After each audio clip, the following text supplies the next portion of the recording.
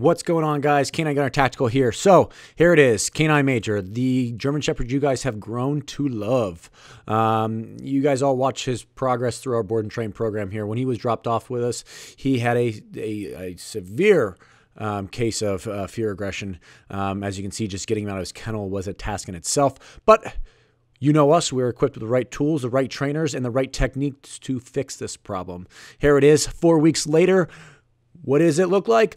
Boom! Coming at you, group class, off leash here. Yep, this is a dog that was uh, reactive with dogs and humans.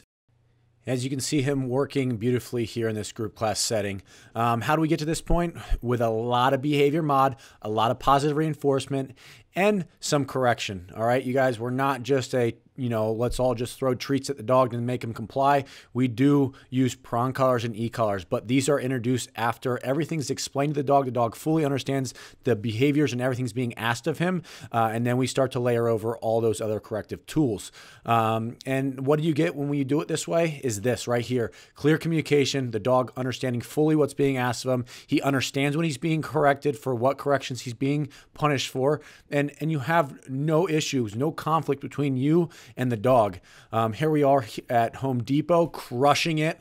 Um, people walking by people here. Uh, you can't control this environment, but what we can control is our dog. Um, I'm 100% uh, confident in his uh, demeanor is in his ability to walk through here with no issues. Why? Because he went through our freaking training program. That's why. Uh, as you can see, some beautiful uh, heeling techniques here, some uh, positioning, uh, walking past people, walking people walking past him, um, carts, loud noises, you name it, throw it at Canine Major. He's on the ball. All right, guys. Um, so let's sit back and let's watch a little bit this unfold here at the checkout counter um, with some unexpected people walking by, um, people looking at him, and what do you get is him uh, performing beautifully like always. Uh, I expect nothing less from this dog.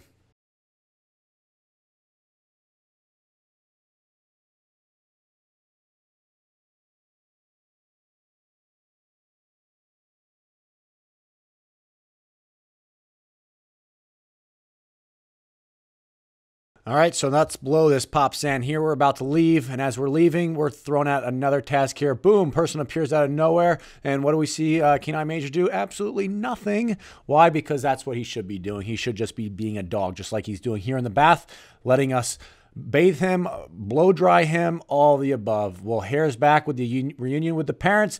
What's up, Dad? I love you. Why'd you leave me here for so long? But I love Canine Gunner Tattoo. I love it here, Dad. Thank you so much.